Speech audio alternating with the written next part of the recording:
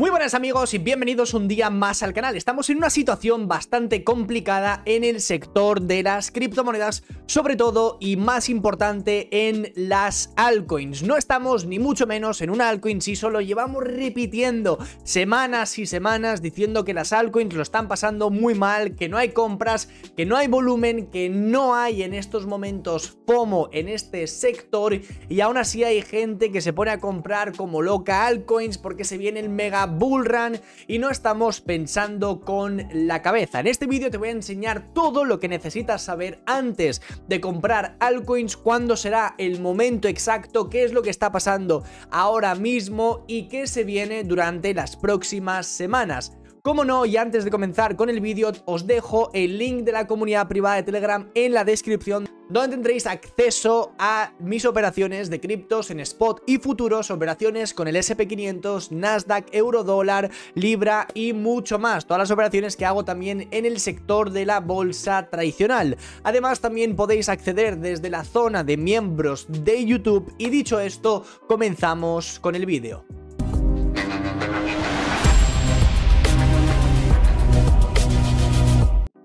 Tenemos una pequeña imagen donde podéis ver el Altcoin Season Index, que es un indicador que nos muestra si nos encontramos actualmente en una Altcoin Season. Y este indicador nos está mostrando actualmente que no estamos bajo ningún concepto en tendencia alcista, sino que para estar en una Altcoin Season nos tendríamos que acercar justo hacia la derecha. Y como veis estamos en 43 puntos, de hecho estamos ahora mismo mucho más cerca de Bitcoin Season que de Altcoin Season, es decir, tendríamos que acercarnos a estos niveles número 75 y Bitcoin Season se encontraría sobre la zona del 25. ¿Qué es lo que mide exactamente este indicador? Veréis aquí una gráfica con monedas que han subido mucho y monedas que han bajado mucho también. Lo que hace este indicador es coger las 50 monedas principales del mercado. Y lo que nos dice ese indicador, por supuesto excluyendo a las stablecoins y a monedas algorítmicas que equivalen el precio a las principales, como por ejemplo Stake Ethereum o similares, y nos vamos al top 50, este indicador nos dice que llegando hasta la última, justo si nos vamos de nuevo hasta este indicador, nos dicen que si el 75% del top 50 de monedas han performeado mucho mejor que Bitcoin.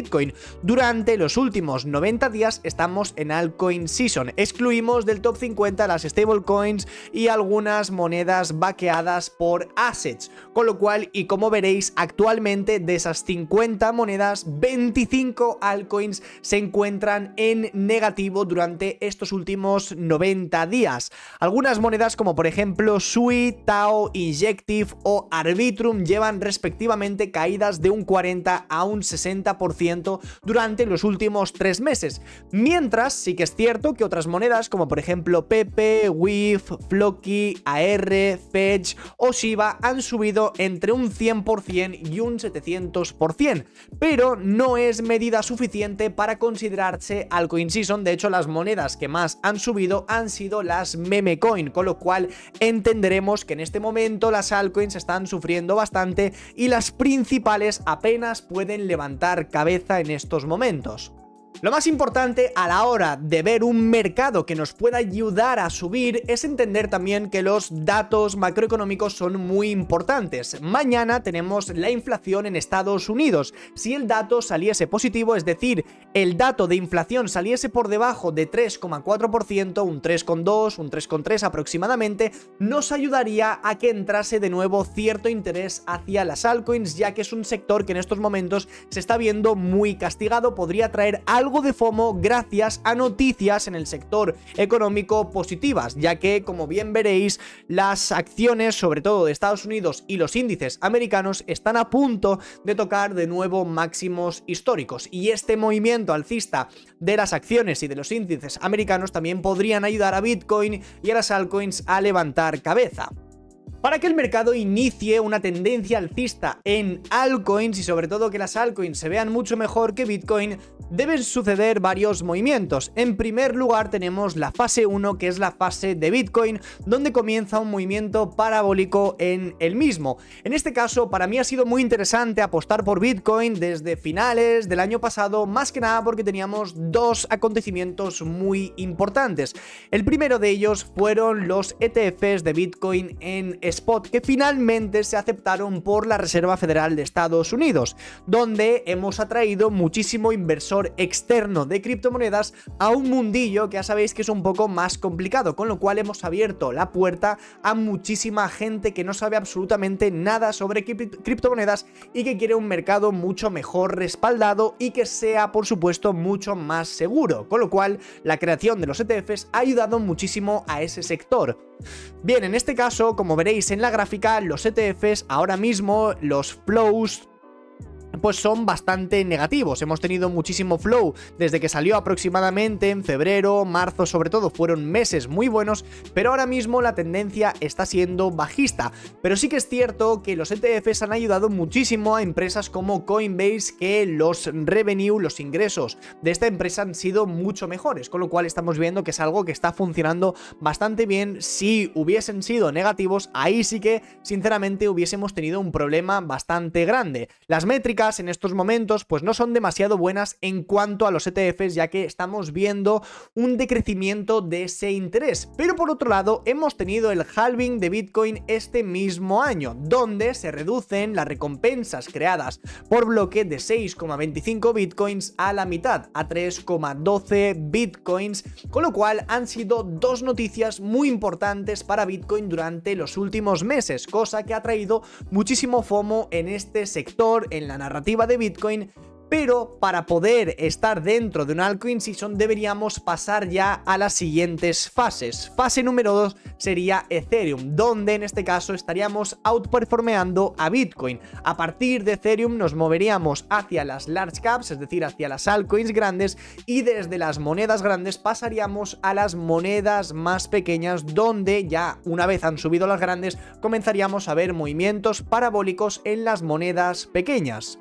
Pero todo esto se está complicando demasiado, porque para que Ethereum suba, Bitcoin también debería estar subiendo. No sería normal ver un movimiento alcista en Ethereum mientras estamos viendo un movimiento bajista en Bitcoin. Y la situación para que estemos en altcoin season es muy complicada, ya que actualmente Bitcoin se encuentra en rango entre los 60.000 dólares y los 74.000 dólares, algo que no nos favorece demasiado en estos momentos para ver un movimiento grande en altcoins. Lo ideal sería que Bitcoin durante los próximos meses tocase una zona importante de interés, una zona de demanda. Una vez hemos roto ya finalmente toda esta consolidación, lo ideal sería llegar a 54.000 y a partir de ahí intentar atacar los máximos históricos, con lo cual debéis entender que las altcoins aún no están en zona de compra o al menos bajo mi punto de vista de la forma que yo pero no lo están. Yo tengo mi dinero guardado en el bolsillo en estos momentos, estoy esperando descuentos mayores en el mercado que aún así, como bien veis, ya se están dando descuentos muy buenos, ya tenemos altcoins a precios mucho más bajos, pero al final cada cual tiene su propio plan, yo tengo mi estrategia, tengo la estrategia de que cuando Bitcoin llega a 54.000, para mí ya merecerá la pena entrar en muchas de las altcoins. Y a partir de esos 54.000 ya podríamos comenzar a valorar un movimiento alcista y sobre todo una reversión en esa tendencia del gráfico de Ethereum contra el gráfico de Bitcoin. Pero es que la segunda fase no se está cumpliendo para nada, porque si nosotros comparamos el gráfico de Bitcoin contra el gráfico de Ethereum, veréis que hay una completa debilidad en la gráfica de Ethereum. Si comparamos los mínimos de ambos pares, veréis que Bitcoin tiene durante el día 1 de mayo una zona de nivel, bueno, más o menos vamos a decir soporte, pero un mínimo en los 56.400 dólares. En cambio, Ethereum ese mismo día, durante el 1 de mayo, si nosotros nos vamos a una temporalidad diaria tuvimos un mínimo más o menos sobre los 2.816 dólares. Si intentamos buscar cuánto sería de caída en Ethereum, estaríamos hablando únicamente de una caída de un 1,79%. En cambio, en la gráfica de Bitcoin estaríamos hablando de una corrección de un 7,5%. Estamos viendo que Ethereum sigue mostrando bastante debilidad respecto a la gráfica de Bitcoin, algo que no nos interesa para nada si queremos estar en una tendencia alcista, sobre todo de altcoins, cual no te interesa exponerte en una gráfica que está siendo mucho más bajista que Bitcoin porque vas a estar perdiendo mucho más dinero mientras el mercado esté corrigiendo. De hecho, incluso si vemos la gráfica en estos momentos del par de Ethereum contra Bitcoin, durante el día de hoy se está manteniendo bastante estable, pero como bien veréis en la gráfica estamos perdiendo todos los soportes posibles.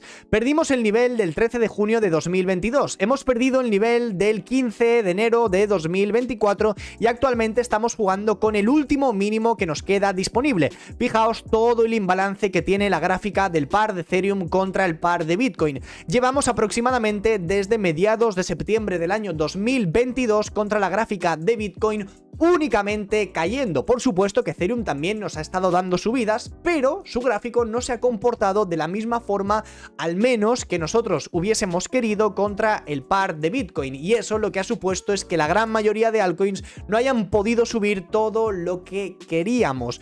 Esto debe cambiar para iniciar una tendencia alcista en altcoins y sobre todo todo ello debería iniciar cuando el par de Ethereum contra la gráfica de Bitcoin finalmente rellene este imbalance, lo que haría que por supuesto la gráfica de Ethereum llega al nivel que os llevo comentando también durante semanas, más o menos sobre los 2.500 dólares. Incluso si comparamos la gráfica de Bitcoin con muchísimas altcoins, llevamos semanas advirtiendo de ese, cambio de tendencia, esa reversión de las altcoins, mostrando muchísima debilidad, mostrando muchísimas divergencias bajistas en estos momentos y han habido un par de monedas que se han salvado. Una de ellas ha sido BNB y por otro lado hemos tenido Solana, dos monedas que han aguantado muy bien este último ciclo de mercado y que de hecho han dado muy buenos movimientos. Pero si comparamos otras tantas monedas en estos momentos nos están viendo también, excluyendo por supuesto el ejemplo de Ethereum, tenemos a Polkadot que en estos momentos se encuentra en 6,5 dólares. Y como bien veis está también muy cerca de intentar tocar estos mínimos. Si finalmente rompemos la línea de tendencia alcista. También tenemos por otro lado a Cosmos, tenemos la gráfica de Matic que está siendo una completa burrada, de hecho si os fijáis, si nos vamos a un gráfico semanal, está muy cerquita de esos mínimos de octubre de 2023, algo que haría que la moneda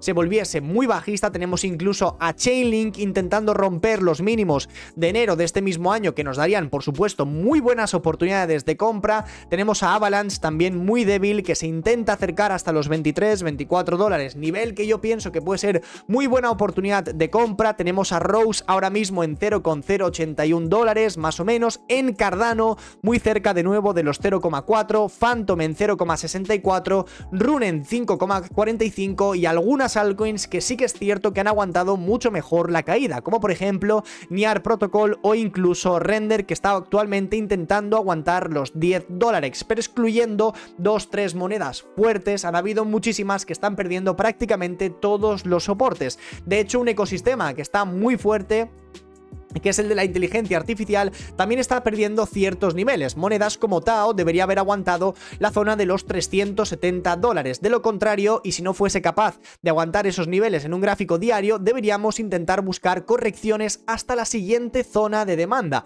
que sería aproximadamente los 250-200 dólares, nivel que también llevo comentando muchísimas semanas a las que pienso que algunas altcoins pueden llegar. Ya sabéis que al final yo tampoco sé al 100% lo que van a hacer las monedas, pero sí que es cierto que tengo algunas estrategias, con lo cual, y a partir de estos momentos, intento establecer los niveles, espero, tengo muchísima paciencia, si obviamente los puntos de compra no llegan, no hay ningún tipo de problema, no me voy a volver loco, ni mucho menos si finalmente llegan, pues simplemente buscamos ciertas compras en dichos niveles. Una gráfica que para nada está ayudando a que el mercado comience una tendencia alcista en cuanto por supuesto hablamos de las altcoins es la dominancia de Bitcoin. Por si alguien no lo sabe y no sabe muy bien cómo funciona esta métrica es muy simple. Si nosotros nos vamos a CoinMarketCap veréis la cantidad de dinero que ha invertido en Bitcoin, en Ethereum y en muchísimas otras altcoins. A día de hoy en Bitcoin tenemos mil trillones de dólares. De hecho, el market cap de Bitcoin es de 1,2 trillones de dólares, prácticamente la mitad del market cap total de Apple en estos momentos. Si justo nos vamos a una gráfica que nos enseña el cripto global total, total market cap, veréis que aproximadamente es de 2,24 trillones de dólares. Es decir, Bitcoin posee prácticamente más de la mitad en cuanto a dominancia. Es decir, por cada 2 euros que entran en el mercado cripto, la mitad se está yendo a Bitcoin, incluso un poco más. De hecho, si justo vamos a esa gráfica que nos enseñan, mide la cantidad de dinero que está yendo, que está fluyendo sobre todo, más importante, hacia Bitcoin, veréis que ahora mismo estamos en un 55,32%.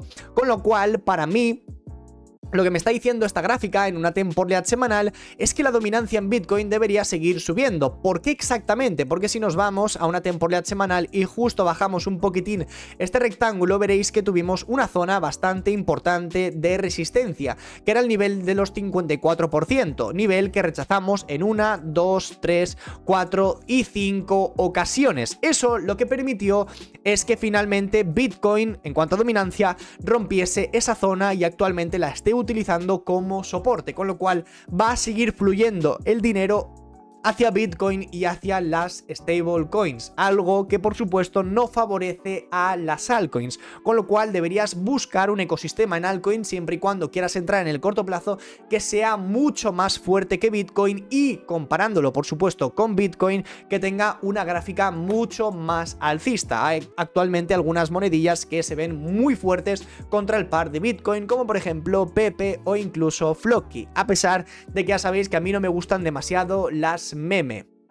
Si seguimos con la dominancia, en una temporalidad mensual, la dominancia en Bitcoin debería llegar aproximadamente al 57,5%, que es el nivel que tocamos en septiembre del año 2020 y que finalmente en abril del año 2021 rompimos. Ese nivel va a ser una zona súper importante que posiblemente marque un nivel de resistencia y posiblemente, y a partir de esa zona, las altcoins deberían comenzar a respirar mucho más y para mí esa zona debería coincidir con el nivel de los 54 mil dólares por moneda de Bitcoin. Hay tres gráficas muy importantes que nos pueden ayudar a saber cuáles pueden ser algunos de los niveles de soporte más fuertes. Por ejemplo, si miramos la gráfica total, que es el dinero total que hay en el mercado cripto, podríamos encontrar en una temporalidad diaria y sobre todo semanal una zona importante de pivote. Rompimos la zona de febrero del año 2022 que posteriormente nos sirvió como un nivel de resistencia a comienzos de enero de este mismo año. Como bien veis, desde entonces no hemos conseguido llegar a los máximos históricos, pero nos hemos quedado muy cerca. Lo ideal sería tener una corrección a partir de estos momentos, que de, hecho, bueno, esta gráfica ya la tenía dibujada desde hacía bastantes semanas, ya lo hemos visto en varias ocasiones. Lo ideal sería encontrar una corrección más o menos de un 15% en market cap total, es decir, deberíamos esperar una corrección un poco grandecilla y a partir de este mismo instante buscaríamos llegar de nuevo a máximos históricos, con lo cual la gráfica lo que nos mostraría sería este pequeño dibujo que os tengo enseñado. Esta sería la principal idea, si miramos por supuesto el total que recoge a todas las criptomonedas más importantes del mercado y a Bitcoin. Si cogemos el total 2, donde excluimos a Bitcoin y sobre todo lo que mayor peso tiene es Ethereum, deberíamos encontrar un soporte cerca de los 900 billones de dólares y a partir de ese mismo instante deberíamos acercarnos hacia los máximos en 1,7 trillones de dólares de market cap en las altcoins. Y si por supuesto excluimos tanto a Bitcoin como a Ethereum y miramos el total 3, el total 3 no debería estar cayendo en ningún momento por debajo de los 580.000, 570.000 millones de dólares y a partir de esa zona deberíamos llegar prácticamente a los 830 y posteriormente al máximo en 1,12 trillones de dólares. Es decir, tenemos tres gráficas muy importantes a las cuales sí o sí hay que prestarles muchísima atención. Perfecto, Vlad. Entonces, ¿dónde compramos altcoins? Un consejo que os puedo dar es que no os acerquéis demasiado a los ecosistemas que están muy débiles en estos momentos o si lo vais a hacer que empecéis con un DCA bastante progresivo, sobre todo, y muy conservador. Es decir, que vayáis haciendo compras cada semana, pero sobre todo resguardando muchísimo capital por si llegamos a ver precios menores. Las monedas, si nos fijamos en un gráfico semanal que estén cerca de los mínimos de octubre del año pasado, son las monedas más bajistas en estos momentos. Algunos ejemplos los tenemos ahora mismo con Arbitrum, que está únicamente a un 20% de diferencia de esos mínimos de octubre del año pasado. Con lo cual, por ejemplo, el ecosistema de Ethereum es un ecosistema ahora mismo bastante débil en el mercado y yo personalmente os recomiendo que no os acerquéis de demasiado a él y si lo vais a hacer que toméis ciertas medidas, como un DCA progresivo, con mucha cautela y por ahora distribuyendo muy poco capital a estas entradas. Tenemos otros ejemplos de monedas que han nacido hace poco tiempo, como Etherfi, Alayer o incluso Manta, que también están perdiendo ciertos niveles importantes en estos momentos, pero es cierto que son monedas muy nuevas, que no han vivido anteriores bullruns y que como bien veis están comenzando a rellenar ciertos imbalances que tuvimos desde que se listaron en ciertos ciertos exchanges. Lo ideal sería buscar un retroceso de todo este rango, yo tengo marcados algunos niveles importantes, pero al final tened en cuenta que son monedas nuevas que no sabemos exactamente qué pueden pasar, con lo cual os recomiendo únicamente que hagáis cierto DCA. Pero las monedas más malas, los que menor profitos van a dar, son las que ya se están acercando a ciertos niveles de octubre del año 2023, con lo cual para mí esas van a ser las peores durante los próximos meses. Lo ideal sería posicionarnos en monedas fuertes. Han habido muchísimas monedas que han tenido mucho FOMO durante los últimos meses, monedas como por ejemplo Jasmine que dejaron imbalances muy grandes. Yo estoy esperando que algunas de estas monedas nos den un retroceso esperado más o menos de un 50% desde el momento actual, pues tendría que caer aproximadamente un 30%, rellenaríamos parte de estas velas y deberíamos comenzar a ver cierta acumulación en ciertos niveles y a partir de ahí una distribución bastante agresiva. Como la moneda de Yasmi tenemos muchísimos ejemplos de algunos sectores que han estado más fuertes como las meme coins como por ejemplo Pepe, que Pepe como bien veis obviamente no nos va a dar la compra que esperamos, pero sí que es cierto que en estos momentos se ve bastante fuerte y está rozando el máximo histórico. Y es por ello que os digo que estas son las monedas que probablemente más profit nos, van a, nos vayan a dar durante las próximas semanas. Pero sin más, centrándonos en las monedas top a día de hoy, yo tengo personalmente marcado BNB en estos momentos algunos puntos importantes, que no sé ni mucho menos si finalmente los llegaremos a tocar, si me voy a quedar con los mocos colgando o al final sí que mis mochilas se van a llenar de algunas de las monedas. Yo estoy esperando, por ejemplo, que BNB caiga sobre los 450 dólares y que a partir de ahí deberíamos intentar rozar de nuevo los máximos históricos. En Solana me gustaría ver un retroceso cerca de los 100 dólares, nivel que pienso que puede ser muy buena oportunidad para volver a acumular cierta Solana y por supuesto para mí el nivel clave serían los 80 dólares, pues obviamente aún quedaría aproximadamente un retroceso de un 20 a un 30%. Algunas monedas más lentas, como por ejemplo Polkadot, que la tenemos también por supuesto en vigilancia, buscaríamos intentar comprar un poco a largo plazo sobre la zona de los 6 dólares, pero por supuesto guardando liquidez si nos acercamos sobre los 4,5 o incluso los 5 dólares. Para mí esta zona va a ser bastante clave.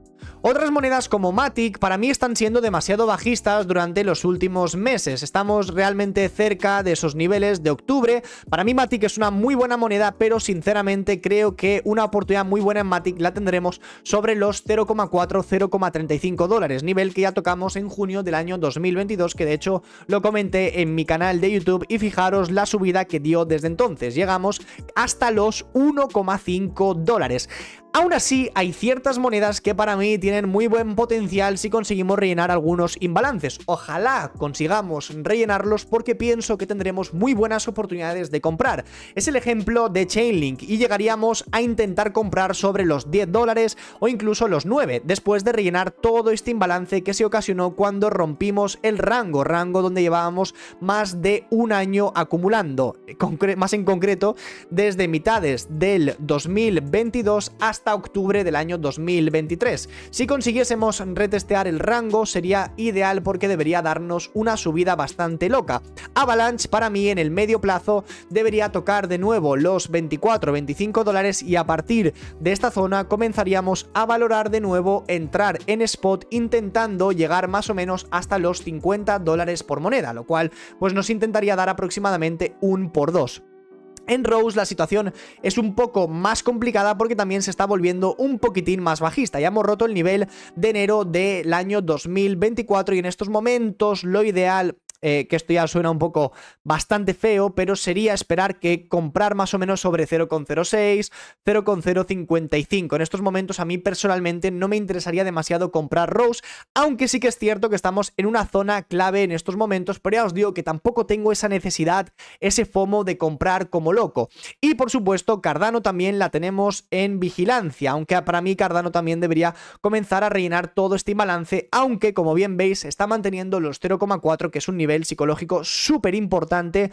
Y por otro lado tenemos el proyecto de Phantom, que para mí debería dar una comprita cerca de 0,5 dólares más o menos. Y por otro lado tenemos un sector que está súper fuerte, que está costando muchísimo que tengan ciertas reacciones bajistas. Algunas de esas monedas son NIAR, que a mí personalmente a largo plazo pues me gustaría volver a comprarla sobre 4,5, pero ya veis que le está costando muchísimo caer en estos momentos. Es una moneda que está aguantando muy bien, con lo cual pues es una lástima no poder comprarla más barata, pero por ahora únicamente la vamos a tener en vigilancia. Render, obviamente me encantaría comprarla a medio plazo en 5 dólares, pero por ahora está siendo imposible. Yo tengo una compra más o menos sobre los 7,5 dólares, pero en el medio plazo podríamos esperar a ver cómo reacciona sobre el nivel de los 8 para volver volver a entrar de nuevo en ella. Tenemos por otro lado Tao, que en estos momentos está siendo súper, súper bajista y yo personalmente la estoy esperando sobre el nivel psicológico de los 200 dólares, una zona a la que pienso que debería llegar donde comenzaríamos a rellenar algunos imbalances importantes y para mí volvería a merecer la pena. No os hablo ni de Fetch ni de Ocean, ni de Agix porque son tres proyectos que, como bien sabéis, van a migrar a una nueva moneda, con lo cual tampoco quiero hablar sobre ellos porque al final tampoco sé muy bien qué va a ocurrir durante los próximos meses.